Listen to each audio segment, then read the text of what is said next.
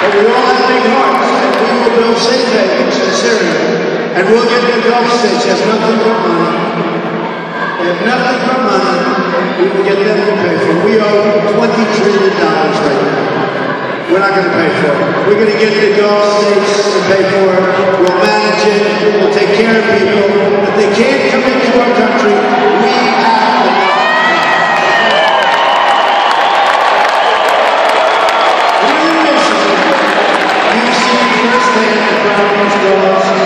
With the refugee with large numbers of poorly vetted refugees pouring into Houston. Without your knowledge, without your